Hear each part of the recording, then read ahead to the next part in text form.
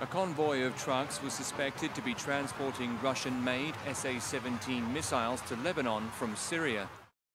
SA-17s are medium-range surface-to-air missiles made to take down cruise missiles, smart bombs, aircraft and drones. They have an engagement range of 3 kilometers to 50 kilometers and an engagement altitude of 25,000 meters. Israel hit the convoy with an airstrike at dawn on Wednesday near the Syria-Lebanon border. Israeli Air Force jets bombed the convoy because Israel believed it was transporting the weapons to Hezbollah.